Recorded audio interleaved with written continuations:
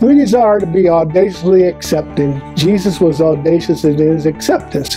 He accepted everyone from every walk of life, background, culture, and race.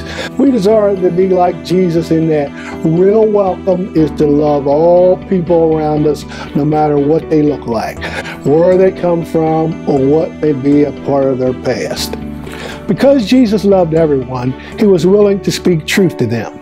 It says in Ephesians chapter 4 verses 15 and 16, rather speaking the truth in love, we are to grow up in every way into him who is the head, into Christ, from whom the whole body joined and held together by every joint with which it is equipped, when each part is working properly, makes the body grow so that it builds itself up in love. We believe the Word of God is our absolute truth and has the power to transform lives in the same way as Jesus.